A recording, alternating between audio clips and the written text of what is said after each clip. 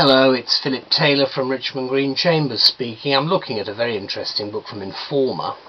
Uh, this is a uh, dispute resolution guide series. It's on international commercial mediation from Cyril Chern. It's a light book, about 300, uh, 250 pages, something like that. It's very detailed though. Um, it's a nice light book and it's very much the sort of book I, I find extremely helpful. Um, you can see the way it's laid out. There are actually chapters and various other bits and pieces.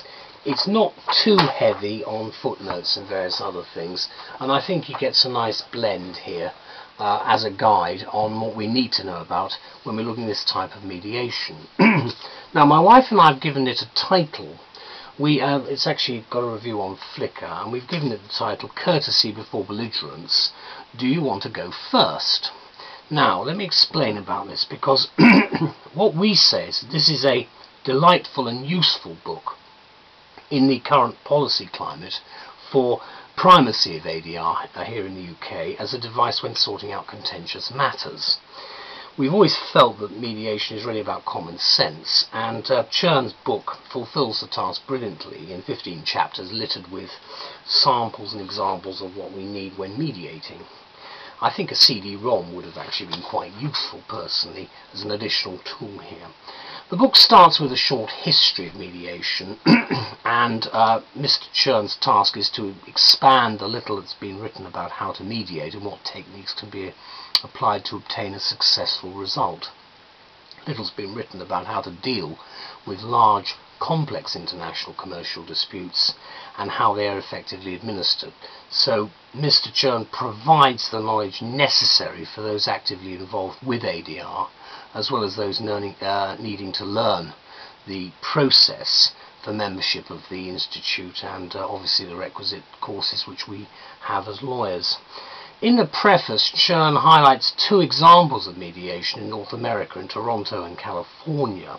Both were successful and form the basis of the book as a result of his experiences. And we're suitably grateful to him because he is uh, the rightly acknowledged expert.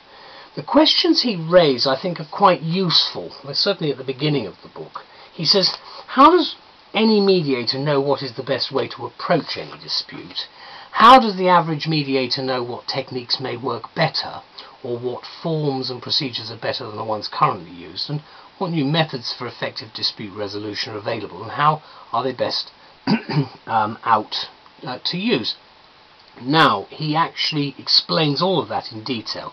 It's a summary of his expertise, and it's the tricks of the trade, basically, unveiled so that um, we therefore have this problem that we see medi uh, mediation as um, an individuality, if you like, about um, about it as a subject uh, and a device, because no two cases or parties are ever going to be the same, so effectively are all unique. Those starting out on the mediation road might find this useful for the Tomlin orders and for the Scott schedule details and a lot of the other little things that are in the book which I thought were very helpful for the new beginner. Um, mediation's been with us, of course, since the beginning, uh, so it predates written history, although scholars disagree as to when the first known example of mediation actually occurred. One thing is clear, though, however, and that is in a new age when we may be returning to litigation as a last resort rather than a first resort, the polite question, do you want to go first, will always set the scene for a successful attempt at mediation, as the initial courtesy can disarm the belligerent at the outset. And you'll need Chern's guide, in our view, at the outset too, for its sage advice and calmness of thought. Thank you very much, Cyril. Bye-bye.